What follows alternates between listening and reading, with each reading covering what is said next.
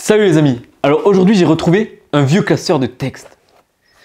Des textes datant pour certains de 10 années. Alors aujourd'hui j'ai choisi de vous présenter un texte qui va nous ramener à octobre 2009. 6h45. Ce matin d'octobre 2009, le réveil sonne, comme quotidiennement depuis un mois. Marc se lève fatigué et commence à se préparer. Il choisit ses vêtements et met de beaux habits pour ce jour qui, selon lui, sera si particulier. Il va vite déjeuner et il salue son père qui part travailler. Marc est enivré par cette odeur de café et de cigarette lorsque son père ferme la porte. Il va dans la cuisine et voit sa mère lui sourire. Elle lui dit simplement C'est le grand jour aujourd'hui. Marc est très maladroit et se dit J'espère ne pas me salir ce matin. 7h20. Tout se déroule bien. Marc est enfin prêt. Dans 15 minutes, il part au collège. Boum badaboum. Un bruit sourd à l'étage. Martial, le frère de Marc, vient de se réveiller. Il est 7h30. 7h34. Martial est en bas. Il déjeune. Avant qu'il parte se brosser les dents, Marc lui dit C'est aujourd'hui que je me présente en tant que délégué. Ok. Dépêche-toi, s'il te plaît. On a le temps, t'inquiète pas. 7h39. Marc est dans la voiture comme chaque matin. Martial monte à 7h40. Avec ses cheveux longs, son sourire et sa grande odeur de déodorant qui cache l'odeur de cigarette. Marc le sait depuis longtemps. Ses parents, non. 7h55.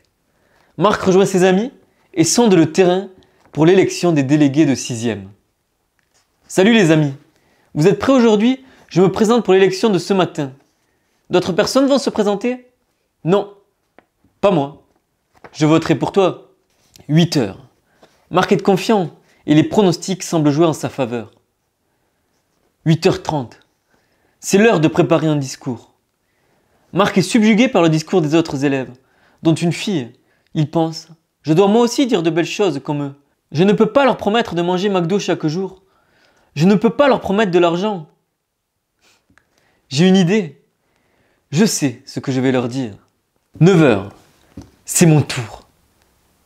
Mes camarades, je vous connais depuis des années pour la plupart d'entre vous. Depuis un mois pour d'autres. Je viens aujourd'hui vous expliquer pourquoi je veux être délégué de notre classe de 6e 1. Je pense qu'il faut deux personnes à l'écoute, qui ne laissent personne de côté et qui puissent faire remonter au professeur vos remarques. Comme le disait ma grand-mère, un arbre a besoin d'un tuteur pour grandir.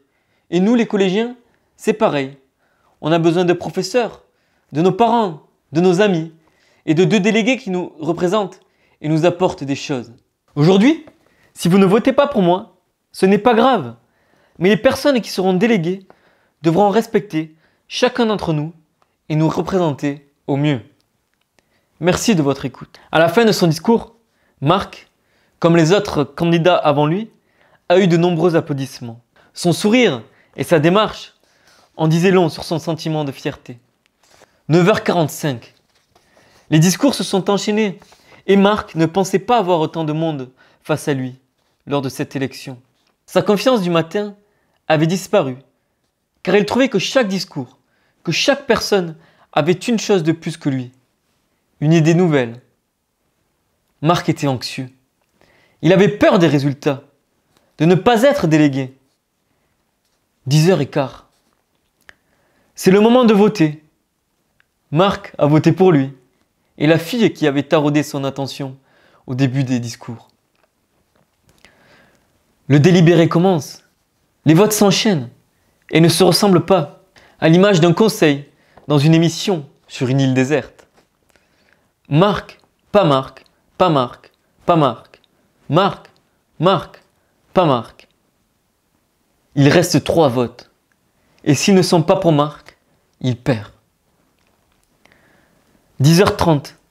Les résultats sont tombés. Marc est élu délégué. Et la fille pour qui il a voté également. Je ne savais pas en ce mois d'octobre 2009, que dix années en tant que délégué de classe m'attendaient. Dix années de rencontres, de partage, d'amitié et d'entraide.